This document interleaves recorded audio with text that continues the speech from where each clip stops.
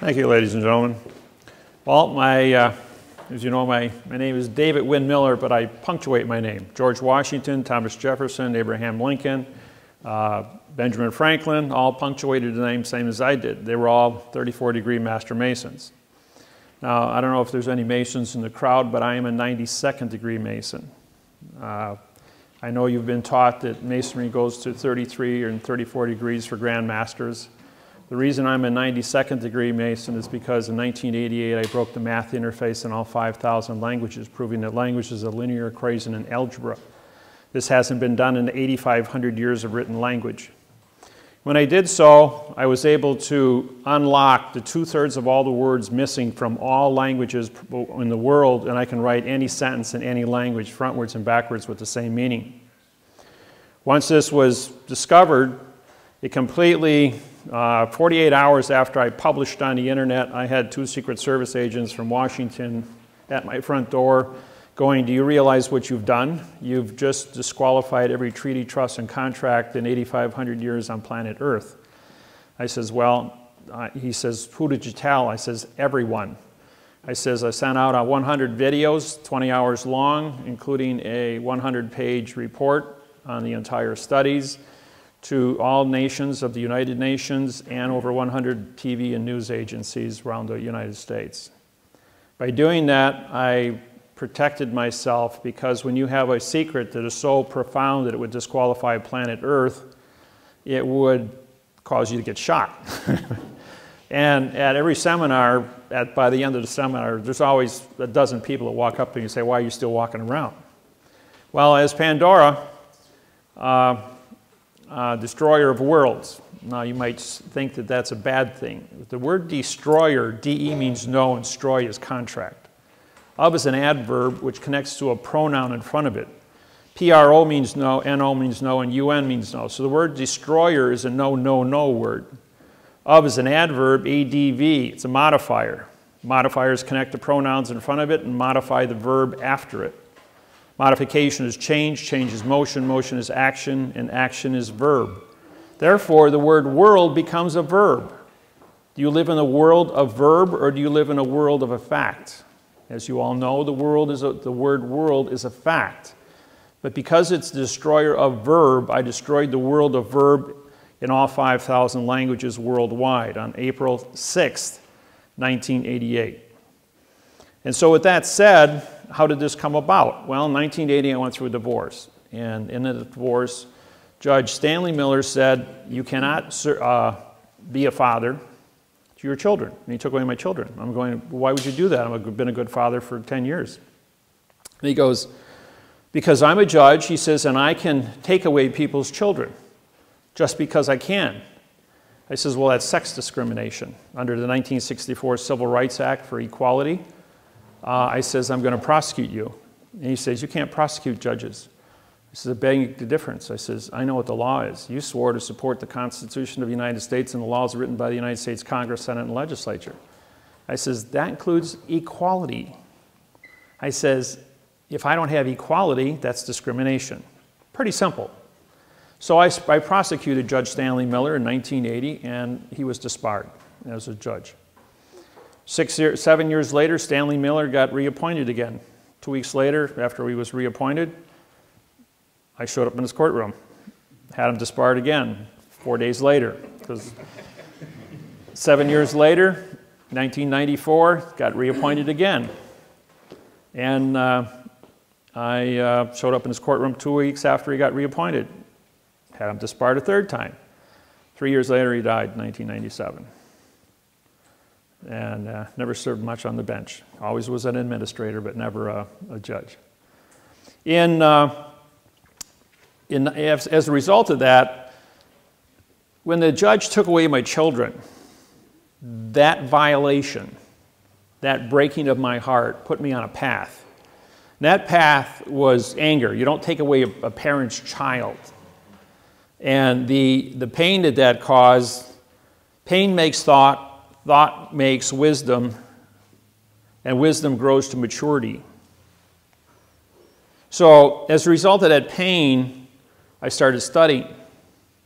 Now, we go through three phases in life. You do not know what you do not know. Well, it's like putting your hand in fire. looks pretty till you touch it and you get burnt. Well, you know what you don't know about why you got burnt. And I was aware of what I didn't know, so I had to study. And so, because I studied, I learned about what, what the fire was. I learned about what the pain was.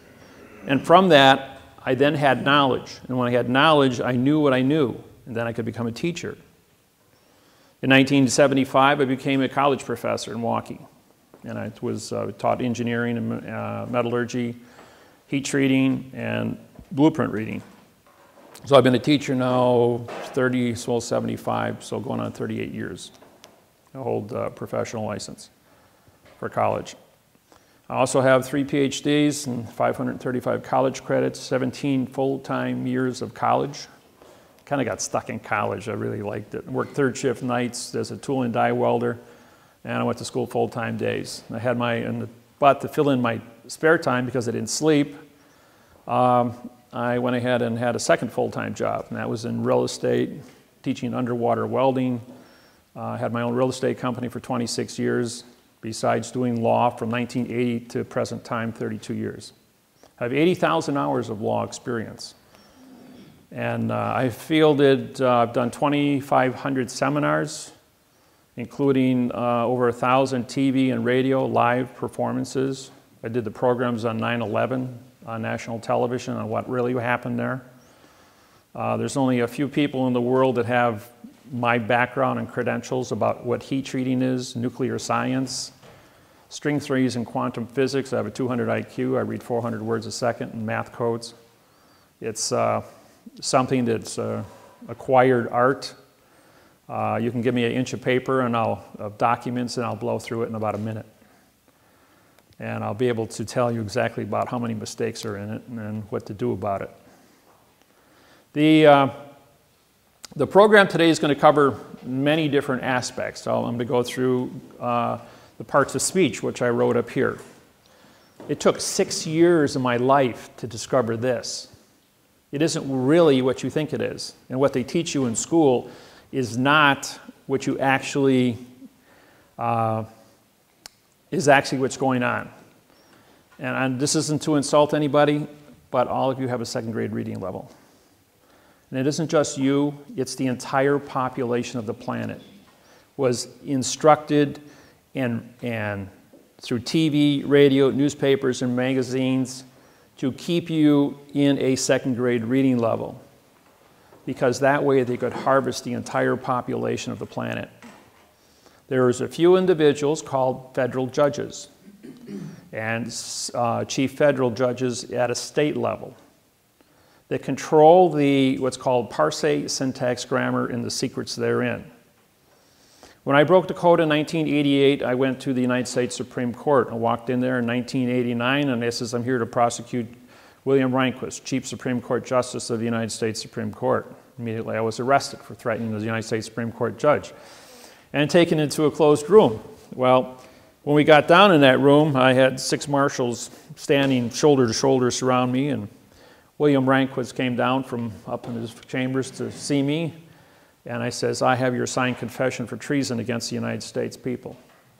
I says, I've, syntax, I've used parse syntax grammar against your opinion uh, since you've been in office. He says, okay, guys, you can all leave now. Mr. Miller and I are going to sit in this closed room. Uh, you've already frisked him. He has no weapons. He doesn't seem to be of stature that can, can overpower me. And we're going to have a little discussion. So for the next two and a half hours, William Rehnquist and I became very good friends. And uh, for the until he died and I removed him from office in June of 2005, we were pretty good friends. I taught him syntax, the math interface on grammar, and he taught me all the secrets uh, of the procedures of judges. But a lot of the things he taught me he was in error of because two thirds of all the words were missing from the procedures by which he wanted to formulate answers. Now, believe it or not, we are all actors in a play that have been already written. All of you believe that you have a certain amount of, of choice to make in life.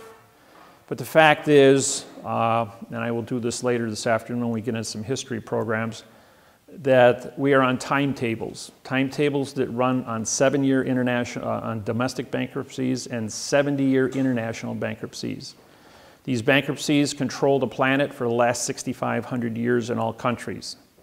All countries worldwide are controlled by the post office, not the courts, not the judges, not the kings and queens, but the postmasters of the world run the entire planet, have for 6,700 years. Going all the way back to Pharaoh henceforth the Masons. Now, a lot of you um,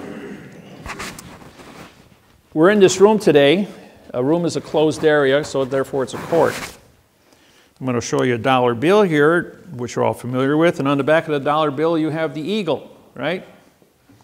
Notice the eagle's wings are turned up. If you notice the eagle's wings here are turned down, that's because it's a phoenix. This is Vatican rule, banking. And the flag here has a yellow fringe on it. And the yellow fringe flag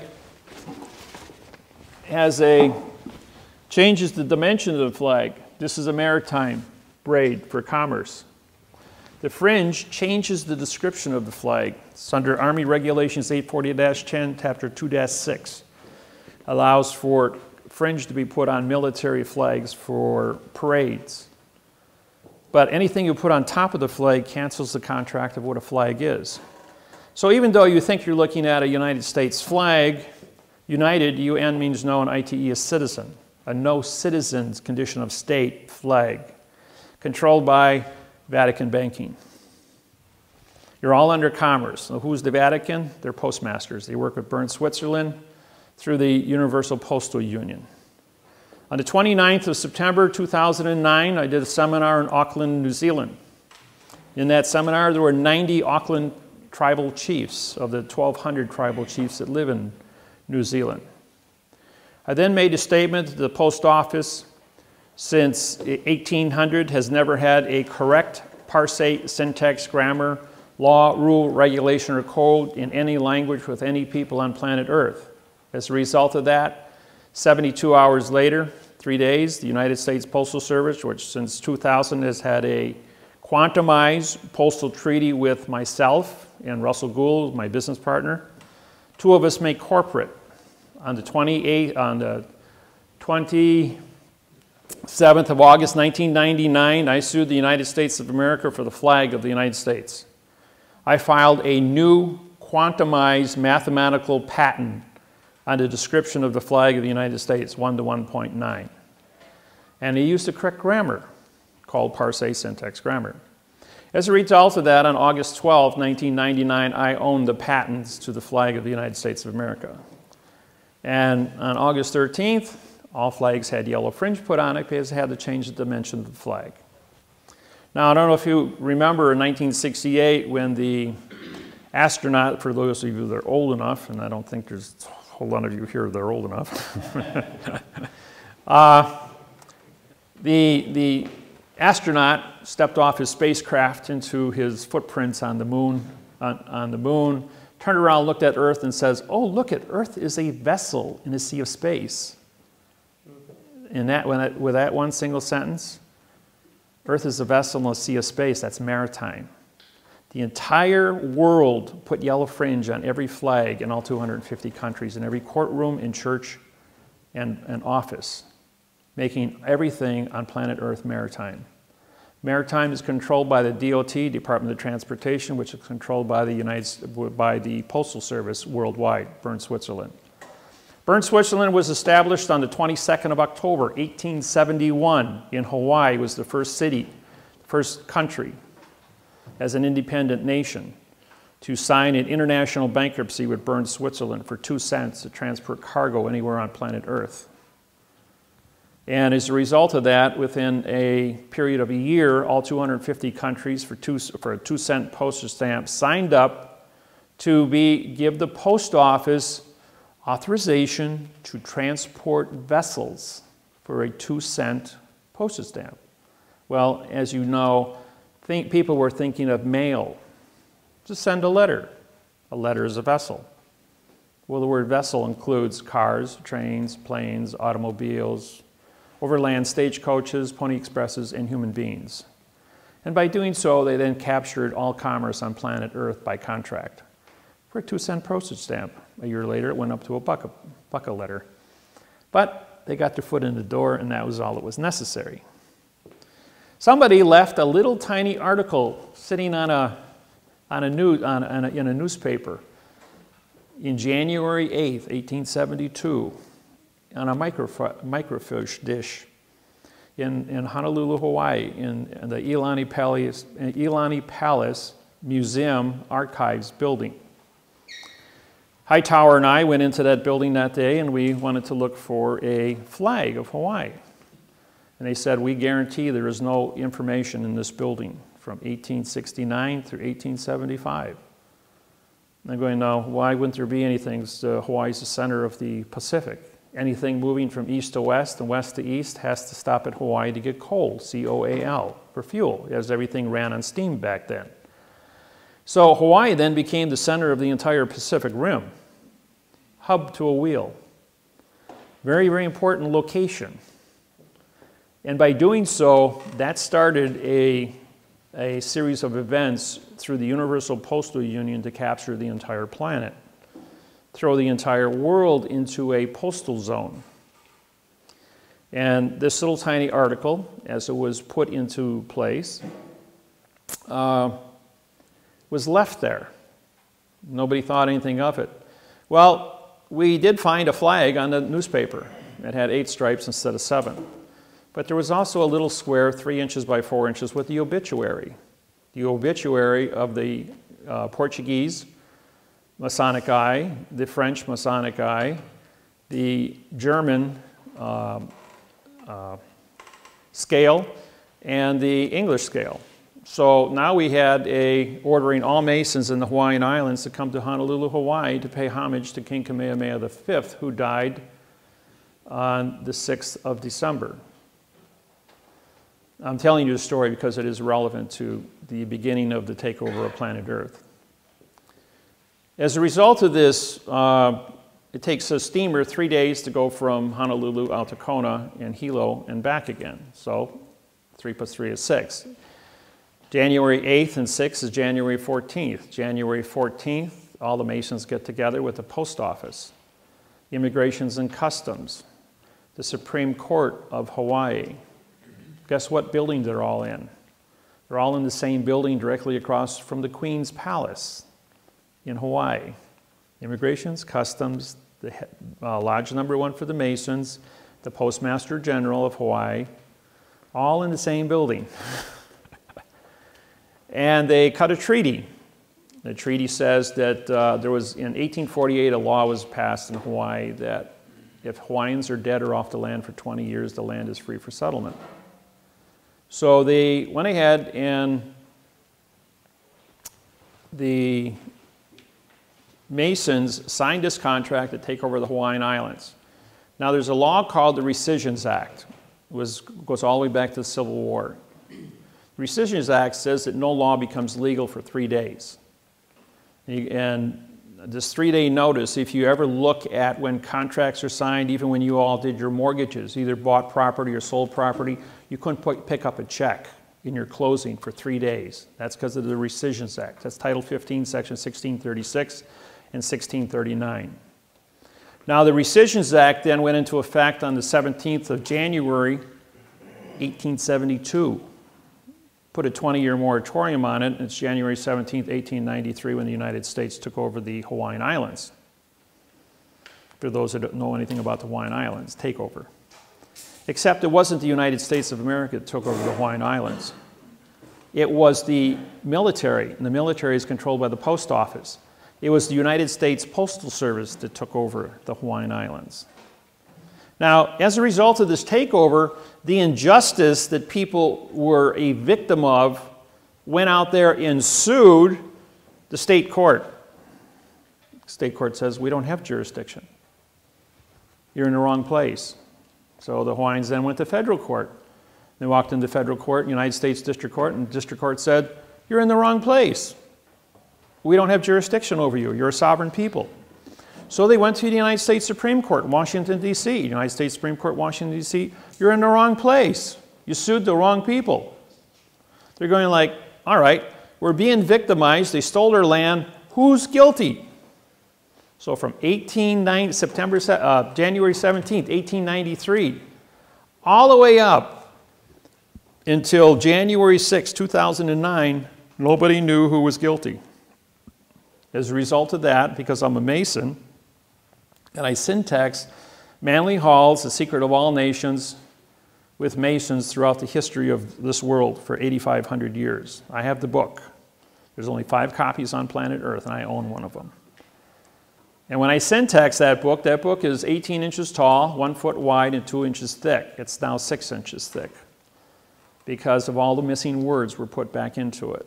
it covers everything in the planet, every religion, uh, the tarot cards, uh, witchcraft, uh, grammar, all the parts of speech, parse, how words come together. It's got all the secrets in it. But the secrets were only written in adverb verb, not prepositional phrases. So when I, when I rewrote it with the correct parse syntax grammar, I then had missing secrets. I did the same thing to the, to the Quran for the Muslims, and I did it to the Bible, King James Bible.